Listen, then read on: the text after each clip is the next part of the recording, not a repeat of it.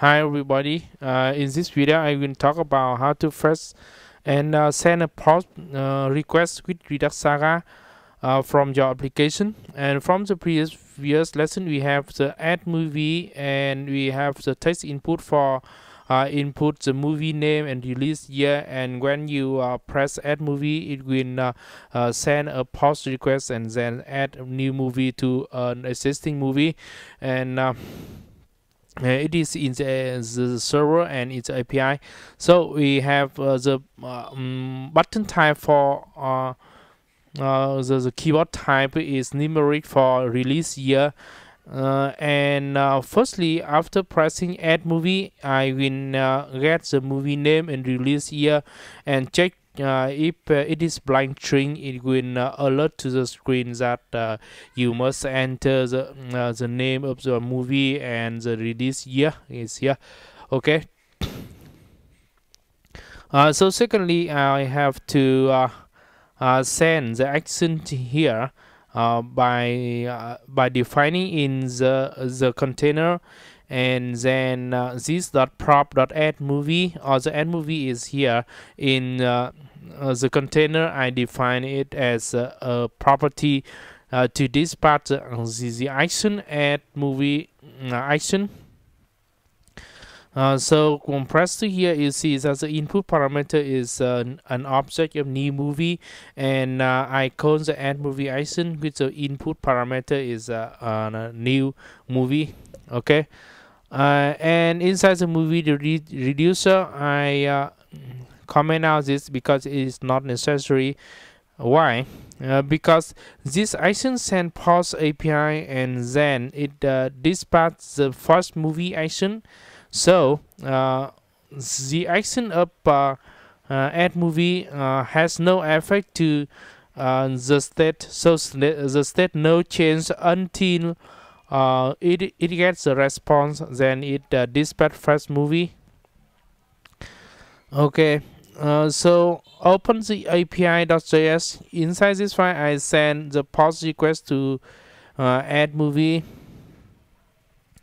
Uh, so the post request uh, is inside a Saga name uh, insert new movie from API and this is the API for post API uh, in this case it uh, has the same uh, it, it, has the same address link to the get API so do the same as here. You only copy paste and change a little bit. We have the method uh, change to post and uh, the URL uh, get change to URL post. Um, change the method and uh, the the header uh, the header is the same. And the body uh, the body is the input parameter for the uh, post API and uh, the body has a name the release year uh, get from the object of new movie. Okay I get the object new movie here and release year uh, name input parameter for adding to this uh, body. And after sending this uh, API I will get the response and all uh, the sending and response must uh, use yield means that it uh, do in the sequence. So you also print out to the screen log to the screen about the response and then you can check uh, it is success or fail depending on the response and in this case it is 201 so copy this and add to the uh, end of this file so uh, adding a new method here insert new movie from API so I export to function and then uh, I can use. Now testing for post API I can send the post with the name here my film uh, film of react native tutorials okay? And this is a new object has been added to the server uh, after sending this uh, successfully. Yeah and you can uh, refresh by requery yes. And you can see that this is a new film the new film has been added to the list. So you can uh, query to see and or uh, send the action of first movie to uh, see the result or to refresh the list yes. And open the movie saga I define this uh, the uh, saga for add uh, new movie the same as with the first movie. Uh, you always use try catch when working with networking? When you send request to API and then get a response you uh, always use a try and catch to uh, mm, because you do not know uh, it is successful or fail. So inside this uh, if it's successful it will uh, get it will call the, the, the function insert new movie from API here and uh, with the input parameter uh, it will get the uh, result of uh, inserting new movie uh, true or false. So it is an action dot new movie or here. You can see that is action. I have the action dot new movie and the default parameter here is action yes. So the framework uh, can know can understand action here.